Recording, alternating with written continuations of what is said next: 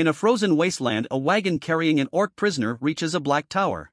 The tower serves as a massive prison for criminals of mythical species. The orc is transported to a cell with two humans. Edgin Darvis and Holga Kilgore, where he immediately reveals his bad intentions towards his first woman's cellmate, but she responds by breaking his legs. The next day, both are doing some prison labor in the cold.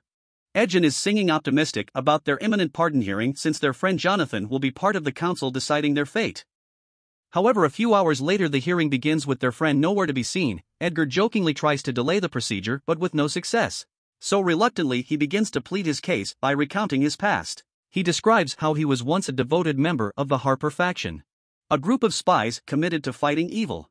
But due to his involvement in numerous conflicts, including with the infamous Red Wizards, his enemies targeted his wife, resulting in her tragic death. The lost shattered Edgin, who turned away from his oaths to the Brotherhood of Spies and became a drunk. Struggling with grief and a young child, Kira. Holga and exile herself for falling in love with the wrong person met Edgin at rock bottom, and the two formed a partnership of sorts. Together they turned to a life of crime to sustain their makeshift family. Even adding Simon Aumar and Forge Fitzwilliam to the gang. But their lives took a different turn when they crossed paths with a witch named Sofina she convinced them to rob Corin's keep. Edgin's old faction's headquarters, bargaining riches beyond their imagination, along with a powerful artifact that could bring Edgin's wife back from the dead. At some point during the heist, the guards are alerted. And Edgin with Holga get caught in a time freezing spell cast by Sofina while the rest get away. In a last attempt effort, Edgin handed over the item of resurrection to Forge, imploring to take care of Kira. As Edgin finishes telling his story, Jarnathan, a bird like creature, finally arrives at the council. Without wasting a second, Holga and Edgin rush him outside the nearest window, forcing him to fly and break them out of prison. After stealing a couple of horses and riding back home looking for Kira, Forge, and the artifact, Holga and Edgin quickly discover that Forge, using the money they stole from Corin's keep to fund a lavish campaign, has become mayor to a nearby town called Neverwinter. Traveling there, the two reunites with Kira and their old friend who works with Sofina and is enjoying a spoiled lifestyle. Edgin requests to take his daughter home, but Forge has turned Kira against him. It turns out that, unaware of the artifact that can resurrect her mom, Kira believes that Edgin betrayed the Brotherhood. And he attempted the heist just for the money. Frustrated and confused, she storms out, while Holga and Edgin get trapped to the ground by Selena's magic. Following that, Forge reveals that he has been playing them from the start, and orders their execution before heading out in preparation of the Roman Games. In the nick of time, however, Holga manages to disarm the guards. Then two escape and decide to find their old mate Simon. With the aim of gathering a team and launching a raid on Forge's castle, skinning his vault, and rescuing Kira.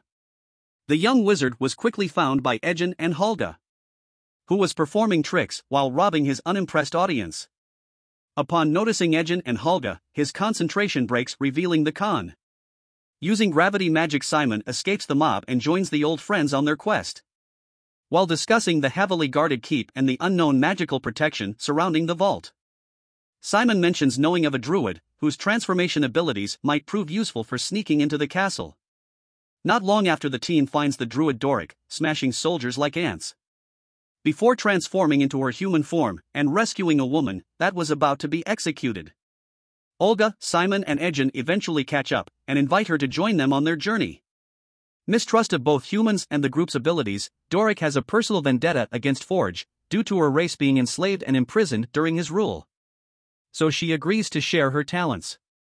Sofina reports to a shadowy presence in the corner of her quarters revealing that she is part of the Red Wizard's evil faction and on behalf of her master is manipulating Forge for a greater scheme.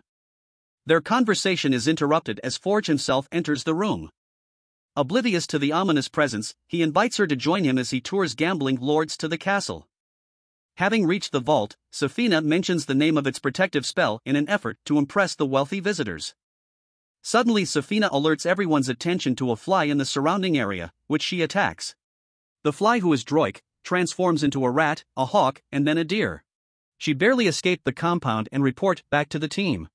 Simon believes that the protective spell is almost unbreakable. Even if he possessed the legendary Helmet of Disjunction, which can disable enchantments in its proximity, he would still lack the power to use it effectively. However, since Holga has a clue on its location, and this is their only chance, they decide to make the attempt. At the same time, Sofina confides in another member of her evil faction that Forge remains under their control. She then gives the destination of the motley crew before directing her ally to murder them, as well as Forge's soldiers who witness their meeting. Back to the party traveling along Holga's lead. They pass through her barbarian village. Holga reconnects with her former love interest, and the reunion reinforces Holga's resolve. Afterward, the group reaches the battlefield where the helm had been sighted and Simon uses his magic to communicate with the last warriors to see. It having gone through the testimonies of several.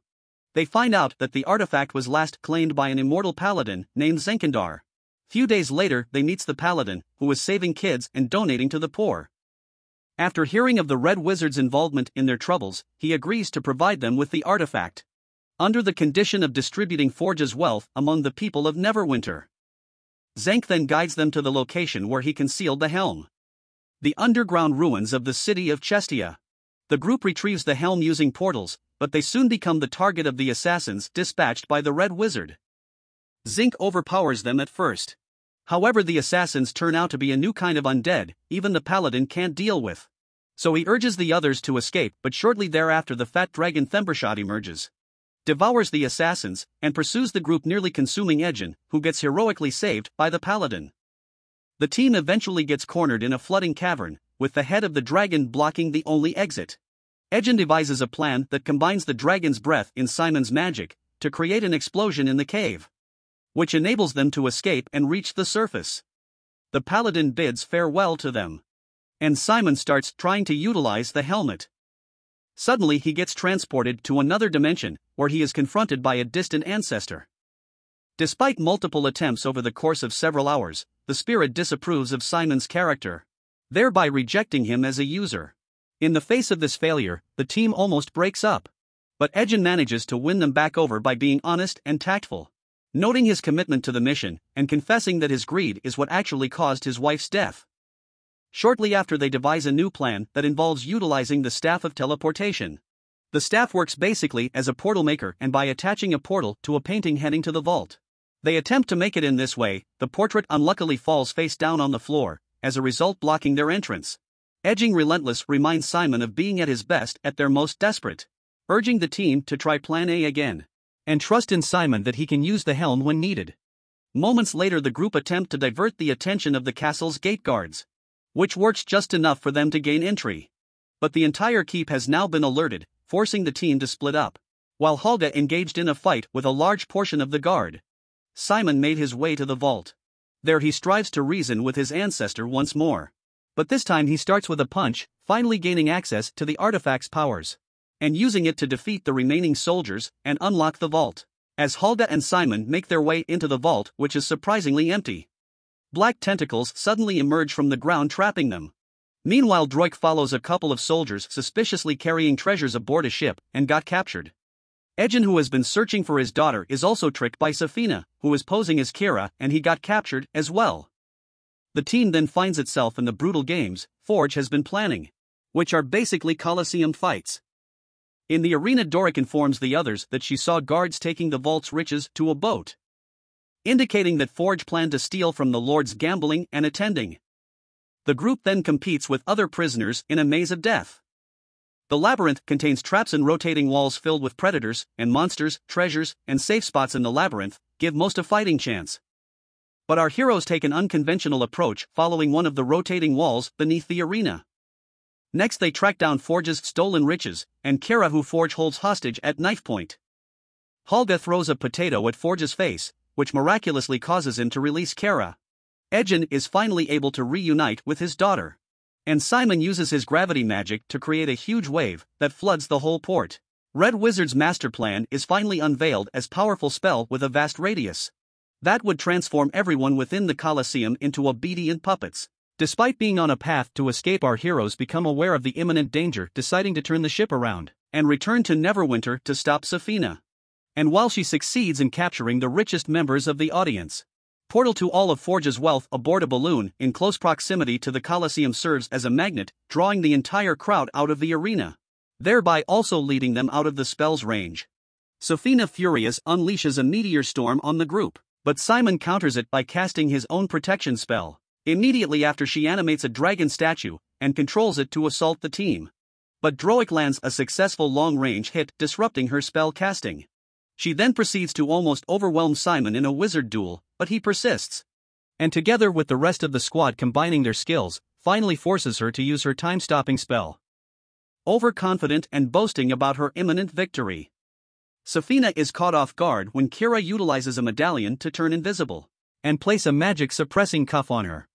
Doric then transforms into her monster owl bear form and relentlessly beats Sofina before finally hurling her into a wall that shatters from the impact.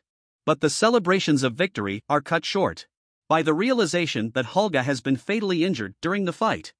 As Kira mourns her passing, Edgin takes it upon himself to use the Tablet of Reawakening to resurrect Holga instead of his wife. The group, along with the townspeople, comes together to celebrate victory and watch magical fireworks. Subscribe for more videos like this, turn on notifications, and leave a like to help the channel out. Thank you for watching.